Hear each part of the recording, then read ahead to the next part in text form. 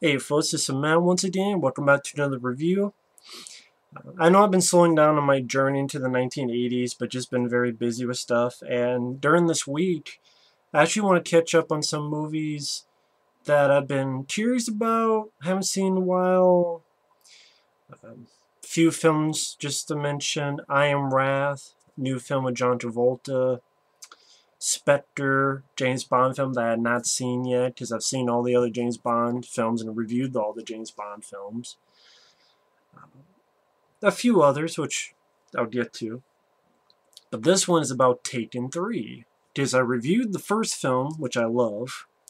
I reviewed the second film, which I hated. So, here's a review for the third film which the tagline says it ends here. And I'm like, I fucking hope so. Please let it end here. As you can see, I did not like this movie. The first Taken is a film that only needed to be one film. It's a film that had a beginning, a middle, an end, it dotted the I's, it crossed the T's, it told its story, it finished its story, and you didn't need any more stories for Taken. The sequel comes out, you have a shitty director who did Transporter 3, who did Colombiana, horrible director. You did a silly story that becomes a parody to the point you have the fucking daughter character, in order to find Liam Neeson, tells his daughter, yeah, you're on a rooftop. Throw grenades and let it blow up throughout the street so I can hear how close you are. Because no one will notice you throwing grenades into the fucking street. Or no one will notice a guy is this far away with a gun at me and I'm talking, I'm literally telling my daughter, yeah, go hide. Even though this guy has a gun to me and can hear me, every word I say, and he's this close to my face. By the way, I'm still on the phone and he could take it, but I'm still telling you to leave. That's how fucking stupid Taken 2 is. Taking a number 2. God damn it, man. And then you get to the third film, which even the title doesn't make sense when you get the Taken 3, because nothing is really taken. No one is kidnapped.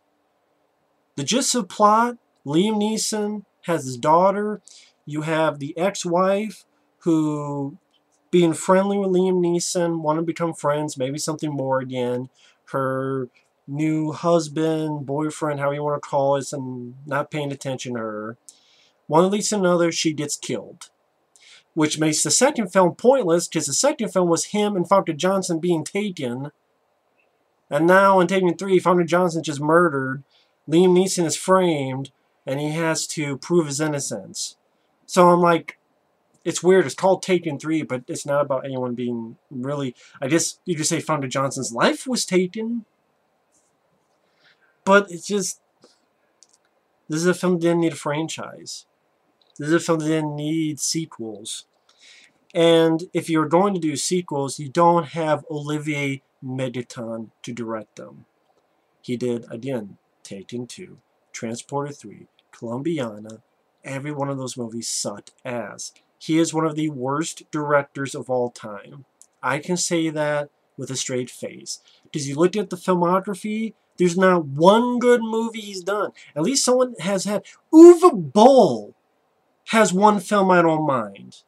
And that's that film Rampage, the first one. Even Uwe Boll is a better director than Olivier Megaton. And that's sad. That's fucking sad. Get a different director. Get Pierre Morel to come back. Get Antoine Fuqua. Get someone else. Get the guys who did John Wick. Get the guys who did Isaac Florentine. Who did Undisputed 2 and 3 and Ninja Shadow of a Tear. Or, better yet, just don't do the movie. Just don't do the film. Nonstop with Liam Neeson, I enjoy that movie. Much better movie than this. Just watch Nonstop instead of Taken 3. Nonstop, good movie. Run All Night, mm, didn't really care for. Walk Among the Tombstones, wasn't really my cup of tea. But even then, I would say they're better than this movie and Taken 2, but that's not saying much. Honestly, of this new Liam Neeson stuff, the first Taken and Nonstop are the ones I enjoy. Unknown, didn't care for. Just Run All Night, forgettable. Walk Amongst the Tombstones is not an action film. It's more of a drama, kind of a little bit of a thriller, hidden as an action film, but it's not. But, yeah. Taken 3... Again, the first film told the story. My daughter's taken. I go overseas. I kill everybody. I save her. Com like a remake of Commando. And a movie. And it's a great fucking movie. Taken is awesome. I still love the first movie. I think the first Taken is one of the best action films in the past 10 years. But sequels, it's like the Hangover sequels. They're fucking useless and awful as shit. I enjoy the first Hangover, but the sequels sucked ass. And this comes from a guy, there's a lot of sequels I enjoy. Rambo 2, and 3, and 4, Die Hard 2, and 3, and 4, Lethal Weapon films, at least most of the sequels. Fucking fly, get out of here. Because it's the summer, get me heated. Shoo fly. Maybe it knows flies like shit and knows I'm talking about a piece of shit. So it's like, no, no, no. I'm talking about a piece of shit. I don't have a piece of shit. Go away. Because the Stainless match is shit. Seven minutes in, I haven't done much in the detail. Why is this film so bad? Other than it being a useless, pointless story that wasn't needed. Well, Liam Neeson, he's shown his age. You gotta remember the first film was 2008. Almost 10 years ago. It's not 10 years ago, but it's almost 10 years ago. To be fair, Taken didn't come out. It, that didn't come out this year, 2016. But still, 2008 is a long time ago. It really is. And you tell that Liam Neeson was never the fastest guy, but he's not, even then, he's not as fast as he used to be. But who knows? Maybe he is. But you can't tell because of the god-awful direction by Olivier Megaton. Or as I call him, Megatron, because he's a fucking Decepticon. It's like he's deceiving people out of their money into seeing these movies in the theater so they become hits, so he keeps getting jobs. He deceives Luc Besson, who write, produces these movies, into thinking he's a fucking good director. Did the guy who did what was his fucking name? He did the tournament. He did Heist. And I fucking forgot his name, but I'll look it up. Scott Mann. There you go, Scott Mann. Get him to direct a Taken movie. Or just, please don't do any more. Just end it. Olivier Megaton, he directs his action scenes and has them edited like a monkey in heat. Because literally, you have a begin, okay. Liam Neeson is Brian Mills, still talking with his daughter, played by Maggie Grace, gives her a birthday gift. She's like, ah, things get a bit awkward. We find out that she's pregnant. She doesn't want to tell her dad. The ex-wife, Famke Janssen, invites Liam Neeson, wants some dinner. She has some problems with her current marriage. The asshole is Dougray Scott. This is the guy who is the bad guy in Mission Impossible 2. The guy they wanted for Wolverine, but Mission Impossible 2 uh, took too long to make, so Dougray Scott didn't get the job and lost out to Hugh Jackman.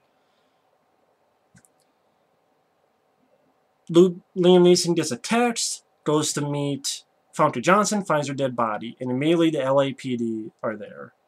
They try to arrest him, he escapes, and this is how the director directs an action scene. If I just Liam Neeson running from cops. Cut, cut, cut, cut, cut, cut, cut, cut, cut, cut. Other side, cut. Other side, cut. Other side, cut, cut, cut, cut, cut, cut. He goes over a fence, cut, cut, cut, cut, cut, and then more cuts.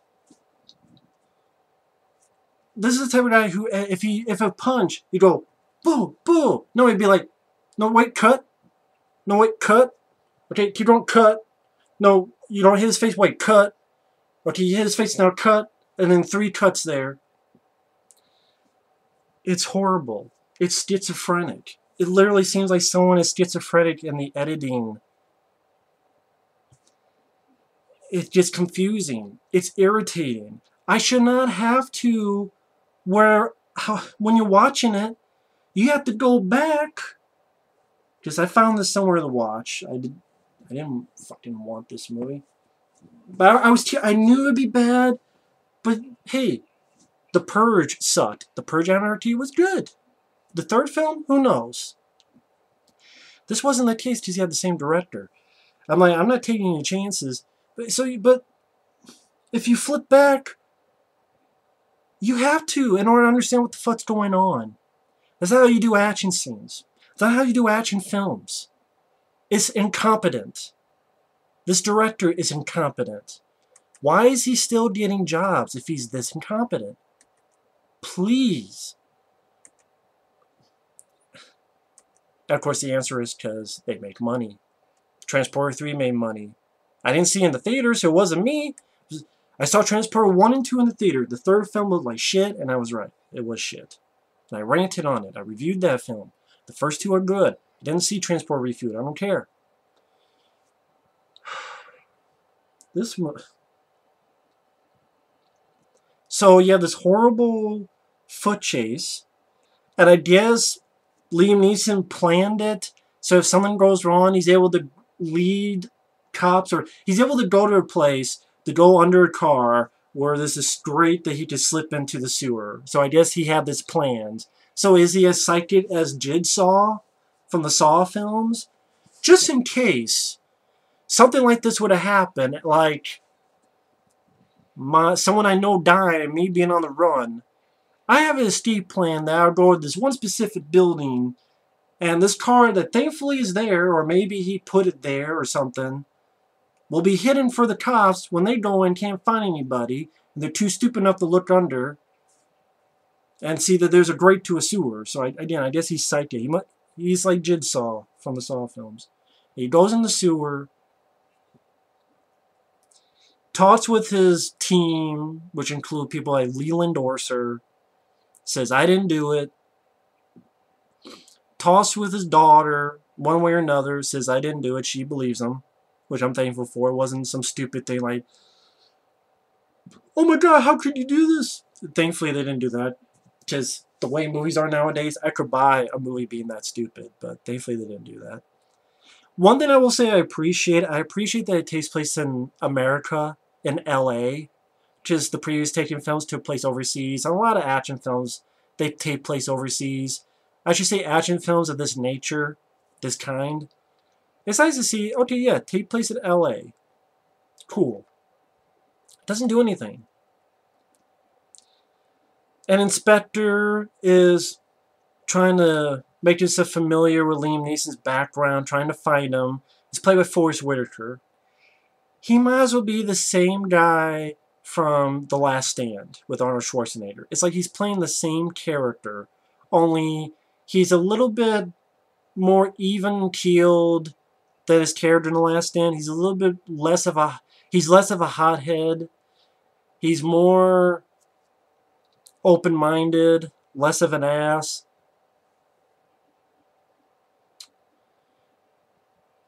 And he has a chess piece that he carries around. Forest Whitaker is wasted. It, it, it could have been played by anybody. Anybody at all. It's not like some mind games it's not like The Fugitive with Tommy Jones and Harrison Ford. It's nothing like that. It's really, again, Forest Whitaker didn't even need to be in the film. I like Forest Whitaker as an actor. I know he's in that new Star Wars one, Rogue One, which didn't do anything for me. But I'm just tired of Star Wars. That's just me. Forest Whitaker didn't even need to be in it.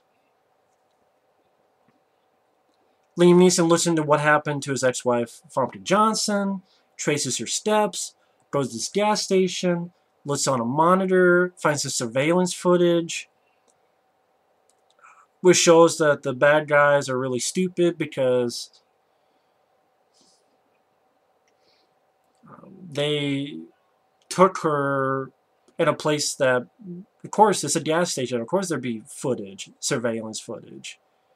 I mean, you would think there'd be a more remote place, like, I don't know, I mean, a ward away. Uh, I just, to me, this is like, there's better places you could take someone instead of in front of a fucking gas station, especially if you don't frame one person, but then a truck comes by and like more than one person comes out and a ski mask. And that pretty much does prove his innocence, pretty, it's not too hard. But the cops get in there and arrest him. You would think a cop would be like, hmm, what was he looking at right there on the go? But no, they wait till later in the film because plot. Forest Whitaker's like, wait, he let you arrest him that easily? Wait, wait, wait. And Liam Neeson breaks out. A lot of, even just to a point where it drives on the wrong side of the road cars crash. I don't know if those people died and the cars that crash. I'm like, did Liam Neeson just cause the deaths of innocent people or at least cripple them or paralyze them? Dude, some of these people are fucked up. Hopefully they got out of the way. Hopefully they're still safe. Hopefully they're still alive. And the fight, the action scene just, again, horribly edited, horribly done. Can't understand what the fuck's going on. Can't understand the chore the choreography, the geography, because you have a bad director who does not know how to direct action scenes. You don't. You have a plot that offers nothing to the table, nothing interesting, extremely forgettable villains, even more extremely forgettable action, because name one good action scene. For people who like the film, name one good action scene. This gets a 6.0. If you like the action scenes, name one. One good action scene. The foot chase, you can't understand what's going on. The car chase, you can't understand what's going on. This edited like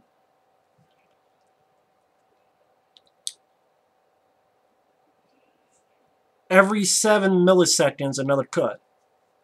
That's what it feels like.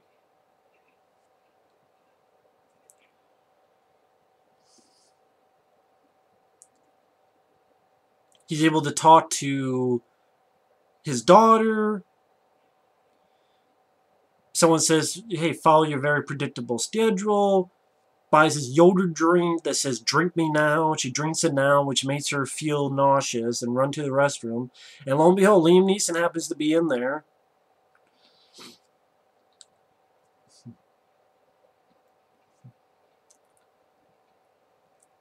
Um, tells her, I don't know what the fuck was the point of that.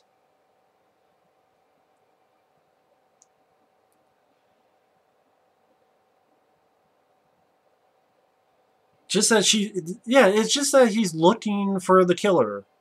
That's really the entire point of the scene, and I'm like, she probably already figured that out because of the last two movies. So you did all this just to tell you, keep safe. I'm looking for the killer. Wow! That was completely pointless.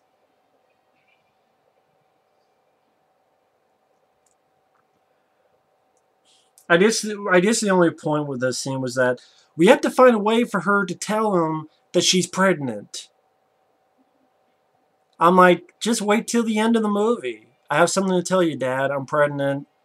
Then him, the daughter, and the daughter's boyfriend talk about it throughout the end credits as they pull back. We don't have to hear them, but really, that's what you could have done.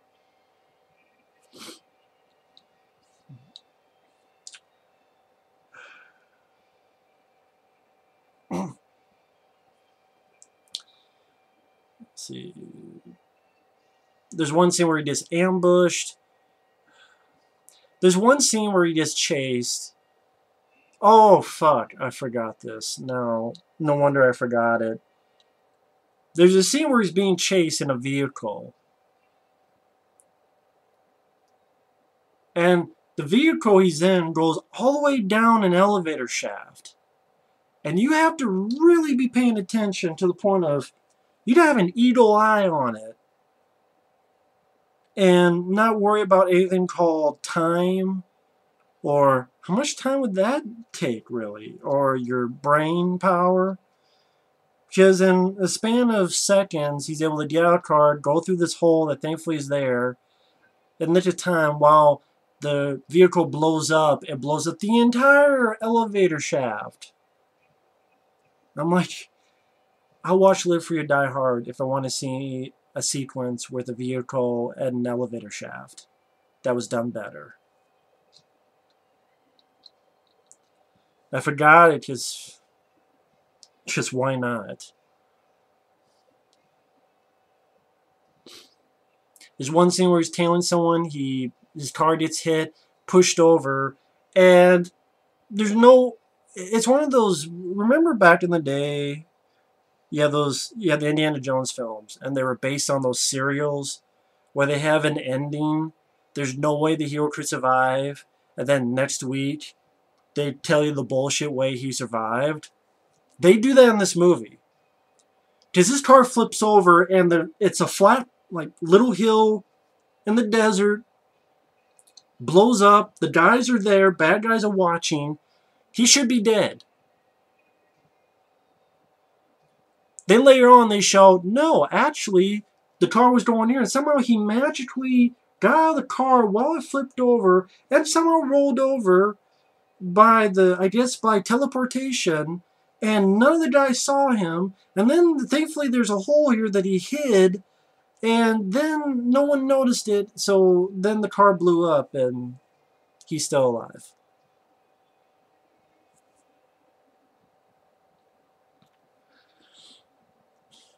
As for the why this is all going on, it's something to do with Famke Janssen's husband had a debt to repay to his business partner who was Spetsnaz. But later on, no, they were tricked. Really, the husband, Dougray Scott, framed Liam Neeson because of some business deal to collect insurance policy, which was like some again some business deal for some insurance policy that's like shitload of money. Wow, that sounds interesting, right? Yeah, in the realm of who gives a fuck. Before he finds this out, he goes in to try Spetsnaz's guys in this penthouse. This lackluster gun battle, which you see you see in the trailer. And it's you see a lot in the trailer because concerning the editing, you don't see any blood in the movie. The unrated cut. Yeah, the unrated cut was what, this much? Oh yeah, how I forget? There's a fight in a liquor store as well. See, that's the thing. This movie's so forgettable. I'm forgetting the action. Yeah, this liquor fight there's a liquor store. He has a little fight. You tell he's showing his age a little bit because he slowed down. Throws a guy into a glass door. Him and another guy shooting. Bottles exploding. Gets a guy. Which is weird. The guy's face looks perfectly fine. And then he gets hit one time against this. And then his entire face is bloody. And I'm like, just from that one time? Okay. Maybe he has soft skin. And then the guy takes Neeson's gun and gets him to shoot him in the mouth. It's suicide. It's a suicide. What the fuck else happened? Oh yeah, the big gun battle at the end, which grabs a guy, shoots, like you saw in the trailer. The scene where the guy shoots in the window, he comes out, Liam Neeson's hiding under a dead body and shoots the guy. The final guy like beats up Liam Neeson a bit and then has the villain James Bond syndrome of talking too much and not finishing the job, and so then he stupidly gets his ass fucked up. And that's where the bad guy says, oh, he's playing you like you played us. And then Dougray Scott takes the daughter to this plane. Liam Neeson gets in a car, drives, slides, hits the wheel of the plane. Like you saw in the trailer. Has a gun on him. The daughter says, no, don't kill him. You know, the cops are coming. And he says something like, yeah, you'll be in prison, but when you get out, I'll be waiting for you. Lame. Yay! He did the bad guy got arrested and Liam Neeson framed him. Yay! That's satisfying. First film, guy tries to tell Liam Neeson, just shoots him in the head. Cool. No bullshit. Here, fine, I'll do it because my daughter said so, and you don't get arrested, but when you come out, I'll, I'll be there. Just lame. And then Liam Neeson's cleared of all charges, gets with his daughter and his daughter's boyfriend. Um, and if the baby's a girl, be named after Famke Janssen's character. And that's Taken 3. I'm sweating like a pig. This movie, useless story, forgettable plot, wasted role by Forest Whitaker. Liam Neeson tries to do the best he can, but everything's against him. Horrendous directing and editing.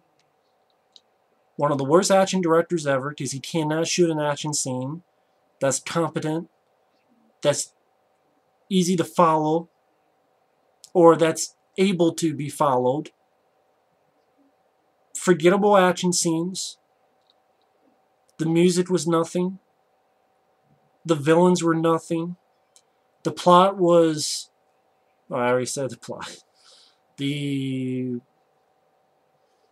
Maggie Grace is there to look scared and freaked out.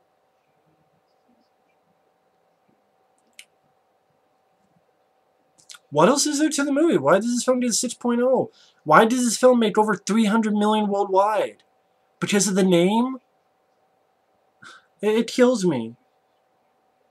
I look at films, I don't even think Edge of Tomorrow made that much worldwide. But this film did. Not John Wick, which I know is getting a sequel, but it didn't make as much money as this movie. Not Dredd not Hardcore Henry, but this movie, which I didn't pay for. I didn't see in the theater, for good reason. But apparently a lot of other people did. Even know, Taken 2 is a piece of shit. And this is just as much a piece of shit as Taken 2, honestly.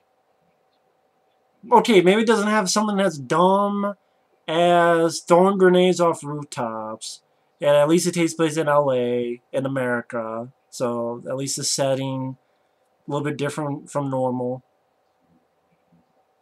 And Forest Whitaker, I like him as an actor, but he's given nothing to do. So I guess if I had to choose, I would say this is better. But that's not saying much, because it's still horrible. And none of them touched the first film. Again, the first film didn't need sequels. It wasn't warranted sequels. I would not be surprised if one day there's a Taken 4 because it's made so much money overseas. And it didn't deserve it. And it's they're god-awful movies. It's uh, not the first one.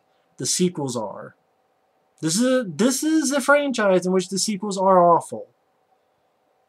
They're forgettable. They're horribly directed. Stop giving this motherfucker Olivier Megaton jobs. Please. Stop giving him jobs. You hear me, Hollywood? Stop giving the motherfucker jobs!